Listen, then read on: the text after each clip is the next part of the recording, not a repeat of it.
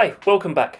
In this video we're going to be making our characters interactive and that means when our audience mouse or click on a character they're going to speak or they're going to do something. So the pirate here is not interactive, neither is the unicorn. The goat we've programmed using a path, but as we move forwards you can see that when we mouse over a character they will give directions and they will speak.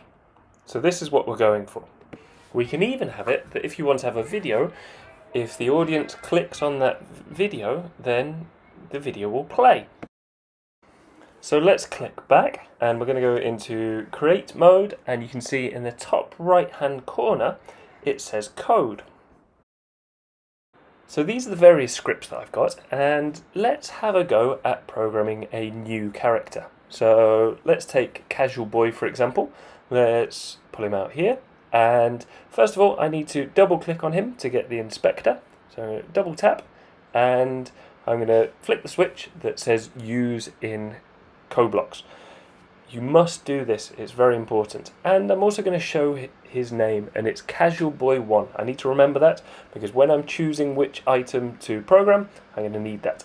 And let's have him doing something. Um, let's see, what should we have? So I'm going to get him to clap. So he's going to be clapping all the time. I haven't done any programming yet, and you'll see that as soon as the audience press play, the, the participant, he's just going to be clapping. And I'm going to turn him slightly sideways on, so he's looking at the person when they start. Now this is where we make him interactive. So I've started a new script in CoBlocks, and I'm going to rename it, and I'm going to call him Casual Boy. And here I made a mistake, I should have called him Casual Boy 1. But that's okay, and you'll see where I make my mistake later. So I've now got an event when play is clicked, and I want something to happen. So we want an event. We said it was going to be interactive, so when the casual boy is clicked, or when the casual boy is hovered over, that is when something's going to happen. So we're going to choose this, and it says casual boy, but our boy is actually casual boy 1 and set animation so we could animate him and we're going to get him to do something. So he's clapping at the moment, so we need to get him to do something different. Let's get him to cheer. And also, let's get him to say something. What should we get him to say? So we've got him to do an animation, we've got him to say something, and when the person stops hovering on the object, then we're going to turn the animation off as well. Otherwise, once people hover over your characters, they'll carry on doing what they were doing. So let's see if this works. And it doesn't work. We've got a problem. Can anybody spot what it is? He's called Casual Boy 1, and we've done when Casual Boy is hovered. We should have selected Casual Boy 1 instead of Casual Boy, because I've already got a Casual Boy.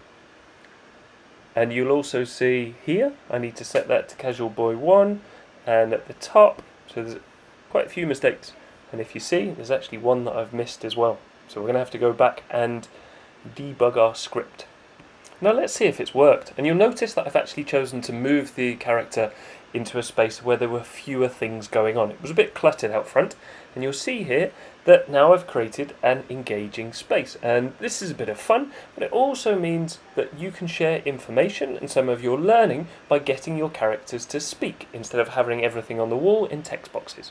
So now it's over to you. I'd like you to add an object, remember that object name, I made a mistake there, turn on using code blocks and then go over to code, add your event, add your action, say something for a certain number of seconds depending on how long it is, turn off the animation and then don't forget to test it. It's really important that you experience your space as an audience.